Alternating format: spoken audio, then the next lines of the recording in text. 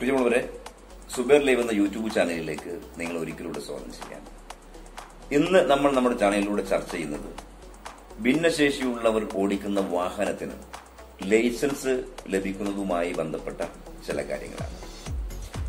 രണ്ടായിരത്തി പതിനെട്ട് മാർച്ച് മാസം ഭിന്നശേഷിക്കാർക്ക് ഡ്രൈവിംഗ് ലൈസൻസ് ലഭ്യമാക്കാനുള്ള പുതിയ മാനദണ്ഡങ്ങളും മാർഗനിർദ്ദേശങ്ങളും വിശദീകരിച്ചുകൊണ്ട് കേരളത്തിന്റെ ഗതാഗത കമ്മീഷണറുടെ ഉത്തരവ് രണ്ടായിരത്തി പതിനെട്ടിൽ ഇറങ്ങിയിട്ടുണ്ട്.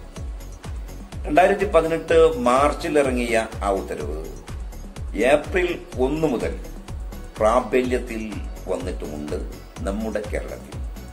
ഭിന്നശേഷിയുള്ളവർക്ക് സുരക്ഷിതമായി വാഹനമോടിക്കാൻ സാധിക്കുമെന്ന് ഉറപ്പായാൽ ലൈസൻസ് അനുവദിക്കണം എന്നതിലായിരിക്കണം ലൈസൻസ് അതോറിറ്റിയുടെ മുൻഗണന എന്നാണ് കമ്മീഷണർ ഇറക്കിയ ഈ ഉത്തരവിൽ പറയുന്നത്.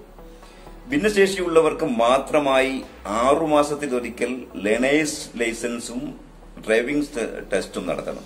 ഭിന്നശേഷിയുള്ളവർക്ക് മാത്രമായിട്ട് തന്നെ ആറുമാസത്തിലൊരിക്കലായി ലേണേഴ്സ് ലൈസൻസും ഡ്രൈവിംഗ് ടെസ്റ്റും നടത്തണമെന്ന് സംസ്ഥാന ഗതാഗത കമ്മീഷണർ രണ്ടായിരത്തി പതിനെട്ടിൽ ഇറക്കിയ ഉത്തരവിൽ വളരെ വ്യക്തമായിട്ട് പറയുന്നുണ്ട്.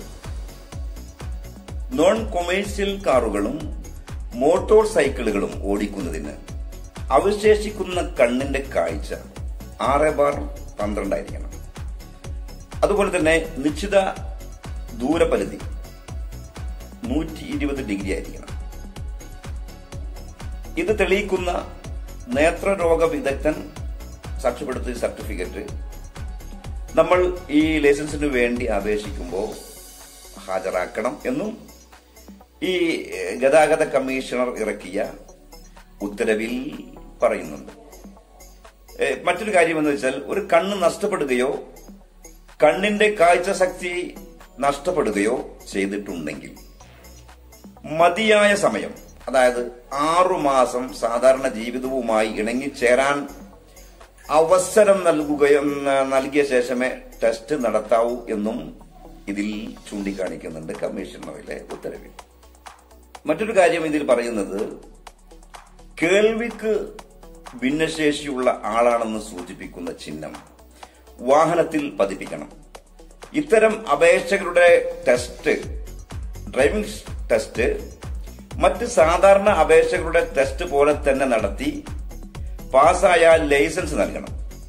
ഭിന്നശേഷിക്കാരായ വ്യക്തികൾക്ക് അവരുടെ ശാരീരിക ക്ഷമതകൾക്കനുസരിച്ച് റിട്രോ ഫിറ്റ് ചെയ്തതോ കമ്പനി നിർമ്മിച്ച invalid carriage automatic clutch automatic gear എന്നിവ ഘടിപ്പിച്ച.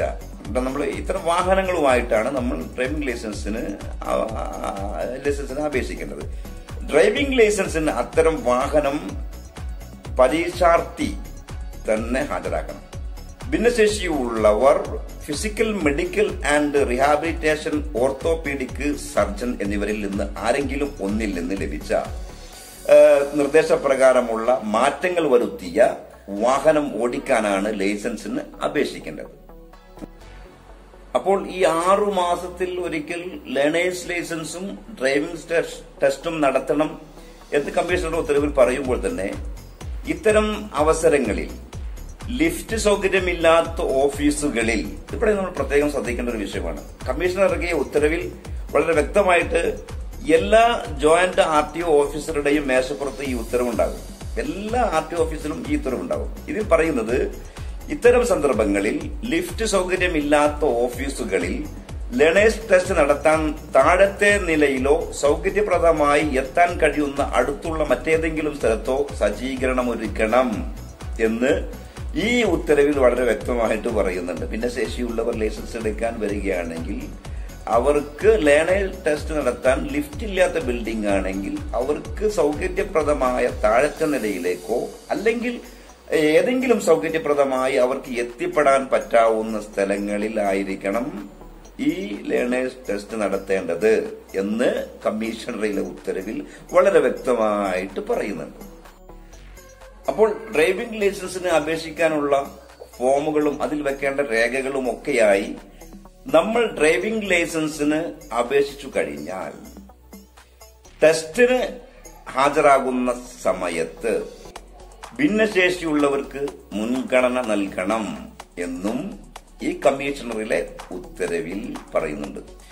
കൂടുതൽ അപേക്ഷകരുണ്ടെങ്കിൽ അതായത് ഭിന്നശേഷിയുള്ളവരുടെ ലൈസൻസിന് വേണ്ടി കൂടുതൽ അപേക്ഷകരുണ്ടെങ്കിൽ അവർക്ക് മാത്രമായി അവർക്ക് മാത്രമായി പ്രത്യേക ദിവസം ക്യാമ്പ് നടത്തി ഡ്രൈവിംഗ് ലൈസൻസ് നൽകണം എന്നും ഈ സംസ്ഥാന ഗതാഗത കമ്മീഷണർ ഇറക്കിയ ഉത്തരവിൽ വളരെ വ്യക്തമായിട്ട് പറയുന്നുണ്ട്. സർക്കിളിലെ കാര്യങ്ങൾ വ്യക്തമായി രേഖപ്പെടുത്തിയ ബോർഡുകൾ എല്ലാ R T O sub R T O ഓഫീസുകളിലും പ്രദർശിപ്പിക്കണമെന്നും ഈ സർക്കുലറിൽ പറയുന്നുണ്ട്. പിന്നെ ലേണേഴ്സ് ലൈസൻസിന് ഭിന്നശേഷിയുള്ളവർക്ക് ലേണേഴ്സ് ലൈസൻസിന് ഹാജരായി ലേണേഴ്സ് ലൈസൻസ് കൊടുക്കുന്ന സമയത്ത് ഈ സർക്കാരിന്റെ സർക്കുലറിന്റെ കോപ്പിയും ഓരോ ഭിന്നശേഷിയുള്ളവനും കൊടുക്കണമെന്ന് ഈ ഉത്തരവിൽ പറയുന്നുണ്ട്. പറഞ്ഞുകൊണ്ട് വരുന്നത് സർക്കാർ സംവിധാനം ഇപ്പോൾ നമുക്ക് ലൈസൻസ് എടുക്കാനുള്ള എല്ലാ സംവിധാനങ്ങളും ഉണ്ട്. പല ആർ ടി ഓഫീസുകളും ബിൽഡിങ്ങിന്റെ രണ്ടാം നിലയിൽ ലിഫ്റ്റ് ഇല്ലാതെ പ്രവർത്തിക്കുന്നത് കൊണ്ട് പല ഭിന്നശേഷിയുള്ളവരും ഈ അങ്ങോട്ട് കയറിപ്പോകാനുള്ള ഒരു പ്രയാസം കാരണം പലരും ലൈസൻസിന് വേണ്ടി അപേക്ഷ സമർപ്പിക്കുന്നില്ല. പക്ഷേ ഗതാഗത കമ്മീഷണർ ഇറക്കിയ ഈ ഉത്തരവിൽ ഇത്തരം ഭിന്നശേഷിയുള്ളവർക്ക് ബിൽഡിംഗിന്റെ ആ, താഴത്തെ നിലയിലോ അല്ലെങ്കിൽ അവർക്ക് സൗകര്യപ്രദമായ ഏതെങ്കിലും സ്ഥലത്തോ ലേണേഴ്സ് ലൈസൻസ് നൽകാനുള്ള സംവിധാനങ്ങൾ ഉണ്ടാക്കണമെന്ന് ഇതിനകത്ത് പറയുന്നുണ്ട്. ഞാൻ ഈ വീഡിയോയുടെ കൂടെ സർക്കാരിന്റെ അതായത് കേരളത്തിന്റെ ഗതാഗത കമ്മീഷണർ ഇറക്കിയ ഉത്തരവ് അതിന്റെ കോപ്പി ഞാൻ ഈ വീഡിയോയുടെ കൂടെ വെക്കുന്നുണ്ട്. ഇത്തരം കാര്യങ്ങളാണ് ശ്രദ്ധിക്കേണ്ടത്. അപ്പൊ നിങ്ങൾ ടെസ്റ്റിനൊക്കെ പോകുമ്പോൾ അവിടെ ഭിന്നശേഷിയുള്ളവർക്ക് മുൻഗണന നൽകണമെന്ന് പറയുന്നുണ്ട്.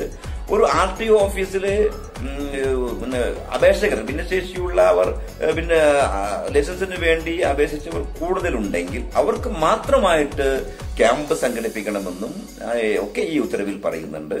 ഉത്തരവ് നമ്മുടെ ആർ ടി ഒ ഓഫീസുകളിൽ നടപ്പാക്കുന്നുണ്ടോ എന്നുള്ളത് ഓരോ ഭിന്നശേഷിക്കാരനും കാര്യങ്ങൾ ശ്രദ്ധിക്കണം എന്നാണ് എനിക്ക് ഈ വീഡിയോയിലൂടെ ഭിന്നശേഷിയുള്ള വലിയൊരു സമൂഹത്തോട് പറയാനുള്ളത്. ആദ്യമായിട്ടാണ് നിങ്ങൾ ഈ ചാനൽ കാണുന്നതെങ്കിൽ തീർച്ചയായിട്ടും ഈ ചാനൽ നിങ്ങൾ സബ്സ്ക്രൈബ് ചെയ്യുക ബെൽ ബട്ടണും അമർത്തുക. കാരണം ഭിന്നശേഷിയുള്ളവർക്ക് വേണ്ടി ഭിന്നശേഷിയുള്ളവർ നടത്തുന്ന ചെറിയൊരു യൂട്യൂബ് ചാനലാണ്. നിങ്ങളുടെ എല്ലാവരുടെയും സഹായ സഹകരണങ്ങൾ പ്രതീക്ഷിക്കും